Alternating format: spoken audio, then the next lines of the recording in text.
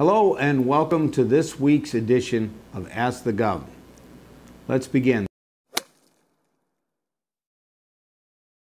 The first question this week comes from Michael in Davenport via email. Michael asks, What are you doing to create jobs in eastern Iowa?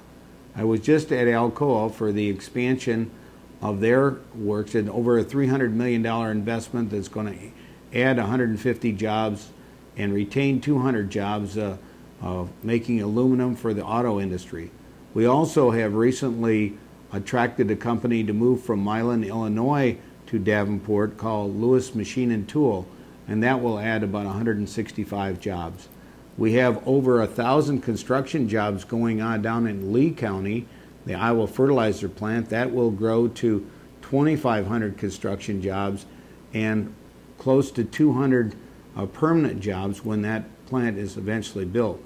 Also, uh, we have a company used to be called IPSCO Steel, now called SSAB, that uh, has uh, gotten into the steel recycling business in Montpelier between Davenport and Muscatine. I also, on a recent trade mission, uh, called on Nestle's, which owns the uh, dog food plant in both Davenport and in Clinton, and they have expanded both of those facilities. Uh, Nestle's the biggest food company in the world, but uh, they make dog food in Clinton and Davenport and cat food in um, Fort Dodge. So uh, we're working every day to bring more industry and good jobs to the state of Iowa, and the elimination of the tax on machinery and equipment several years ago certainly helped on that. This last year, we reduced the commercial and industrial property tax, another very positive signal, and it makes us more competitive. Uh, and as we compete to bring more good jobs to the state of Iowa, we're seeing significant success. While Illinois' unemployment rate has gone up and they rank 49th, Iowa now is the fifth lowest in unemployment in the nation. So we're working hard every day to bring good jobs to all parts of the state, but especially in eastern Iowa where we're competing with Illinois, which is not nearly as competitive.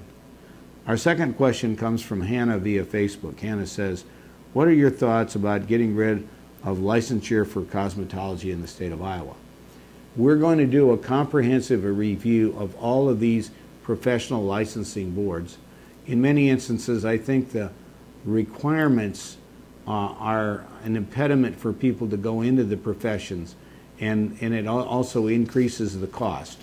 So we're going to be doing a comprehensive review of all boards and all licensing to de determine what is the appropriate level of licensing and, and what, are the, what of these uh, professional licensing boards have gone overboard. Our third question comes from Jennifer from Emmetsburg via Facebook. Jennifer says, why is our state not one of the eight that's requesting our state to be in charge of health care? Um, we actually have recently received approval from, from the Health and Human Services Department at the federal level for Iowa's request for a waiver for Iowa, Iowa's Health and, Weight and Wellness Plan. This is a plan that uh, we worked out with the Iowa legislature. We've also set the goal to be the healthiest state in the nation and are working to get people to take ownership of their own health and are partnering with companies like Hy-Vee and Wellmark. Uh, and we have available now uh, uh, nutrition scoring in the in the Hy-Vee grocery stores. Wellmark is providing grants for blue zone communities across the state, and we're encouraging everybody to look at what they can do by not using tobacco products and things like uh, exercise and nutrition to improve their personal health. We want Iowa to become the healthiest state. We've moved up from 19th to 9th, and we're going to continue through our Iowa Health and Wellness Plan to strive to make Iowa uh, the healthiest state in the nation. Thank you.